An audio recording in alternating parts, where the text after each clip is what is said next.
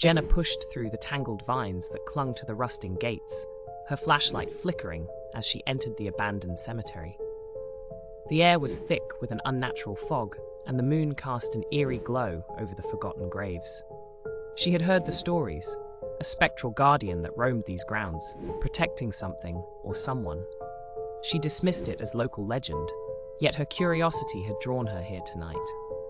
As she wandered deeper, the temperature plummeted, each breath forming a ghostly mist. Jenna's footsteps echoed, unnaturally loud in the silence. Suddenly, a figure emerged from the shadows, a tall, gaunt man with hollow eyes that seemed to pierce her soul. Leave this place, he whispered, his voice a chilling hiss. Her heart pounded, but she pressed on, determined to uncover the truth. The Guardian followed, his presence growing more oppressive. She stumbled upon an old, weathered gravestone, its inscription barely legible. Lydia, beloved daughter, taken too soon. Jenna felt a cold hand grip her shoulder. She mustn't be disturbed, the Guardian's voice trembled, revealing a deep sorrow.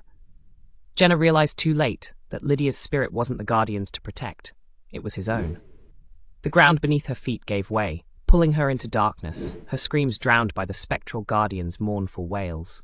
The cemetery fell silent once more, the legend of the Guardian claiming another soul.